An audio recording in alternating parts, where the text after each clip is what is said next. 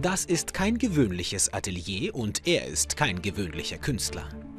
Nikas Safronow zeichnet heute ausnahmsweise mich als freundliche Geste. Ist die achte. Sonst sitzen im Männermodell wie er. Alexander Lebedew, Milliardär, ehemaliger Politiker. Was halten die beiden von Russland? Von Russlands Eliten, die sie bestens kennen, im Job und privat. Politiker sind wie Tauben. Wenn sie unten sind, fressen sie dir aus der Hand und wenn sie oben sind, machen sie dir auf den Kopf. Eine unreife Demokratie ist viel gefährlicher als die gelenkte Demokratie, die wir haben. Putin macht Sachen, die sich zuvor keiner zugetraut hat. Außer Jesus Christus vielleicht. Vor Putin habe ich großen Respekt. Der Mythos, das Putin-Regime nehme den Menschen was weg, ist ein Mythos. In der einst maroden Sowjetfabrik lässt der Milliardär Lebedew Teile für Kraftwerke bauen. Bisher ein Verlustgeschäft. Aber er macht das trotzdem aus Leidenschaft. Er kann sich das leisten, weil er viel Geld mit Wertpapieren, Immobilien und Telekommunikation verdient. Wie viele der Superreichen in Russland hat auch Lebedew sich seinen Anteil aus dem Sowjetimperium gesichert. Der Geschäftsmann glaubt aber, dass Russland sich verändern muss. Der Aufstieg unserer Wirtschaft kommt, wenn endlich Bedingungen dafür da sind. Russlands Betriebe sind auf der Strecke geblieben, weil kein Geld für sie da war. Es wurde geklaut, so wie früher alles in diesem Werk geklaut wurde. Mein Vorgänger, der Ex-Besitzer, sitzt heute im Knast. Russlands Wirtschaft ist schwach, wegen niedriger Ölpreise und westlicher Sanktionen. Der Staat gibt für seine Bürger immer weniger aus, die Kluft zwischen arm und reich wächst.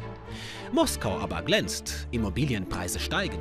Diese Gegend an den sogenannten Patriarchenteichen ist so teuer wie die Bestlagen in London oder New York.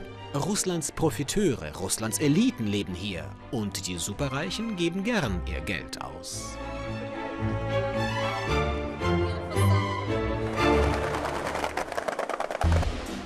Er hat hier auch eine Wohnung. Ganz in der Nähe, einen 800 Quadratmeter Palast. Der Maler Nikas Safronow zeigt mir seinen liebevoll umgebauten, gotisch-sakral wirkenden Altbau. Zehn Gehminuten vom Kreml entfernt. Jedes Stück eine Rarität. Darauf legte der Hausherr Wert. Auf bis zu 40 Millionen US-Dollar wird seine Stadtvilla geschätzt. Sein Malstil eine bunte Mischung. Er nennt das Dream Vision. Am teuersten sind die Herrscherporträts. Safronow gilt als Hofmaler und Freund von Oligarchen, Ministern und ihm. Ich zeichne Gesichter, die interessant sind. Niemand will wissen, wer beim Lotto mitspielt, aber alle wollen den kennen, der die Million gewonnen hat. Putin ist so einer, ein Profi, ein Mann, ein Patriot, einer, den ich interessant finde und respektiere. Als Putins gemäßigter Kritiker gilt dagegen er Alexander Lebedew. Der Milliardär finanziert die regierungskritische Novaya Gazeta und war mal selbst Abgeordneter des russischen Parlaments.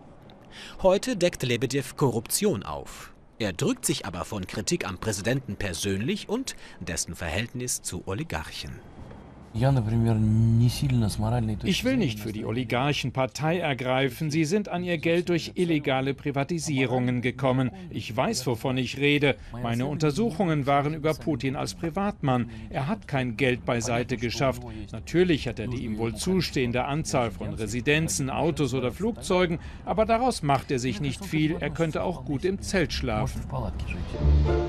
Putin habe den Russen nach dem Zerfall der Sowjetunion ihre alte Größe wiedergegeben. Daran glauben hier viele. Auch Nikas Safronows Projekte zeugen von der Rückbesinnung auf die alte Größe. Eine Größe, die der Westen nicht zu würdigen wisse, so der Maler. Der Westen benutzte Russland zur Abschreckung. Das ist aber falsch, denn Russland ist wichtig. Ohne Russland gäbe es kein Deutschland, kein Polen und kein Europa.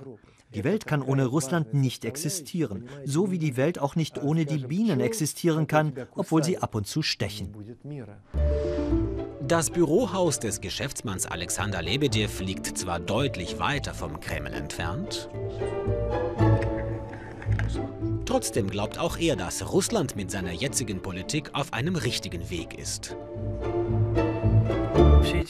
Viele Probleme werden herbeigeredet. Den Tiefpunkt der Krise haben wir bereits hinter uns.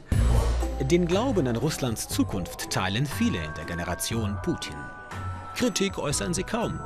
Russland sei nun mal ein einzigartiges Land, für das auch einzigartige Maßstäbe gelten müssten.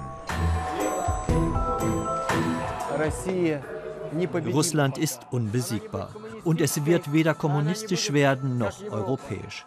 Russland lebte schon immer nach eigenen Gesetzen und es ging seinen eigenen besonderen Weg. Doch nur wer Geld hat, kann sich sein eigenes goldenes Russland leisten und hoffen, dass es bleibt, wie es ist.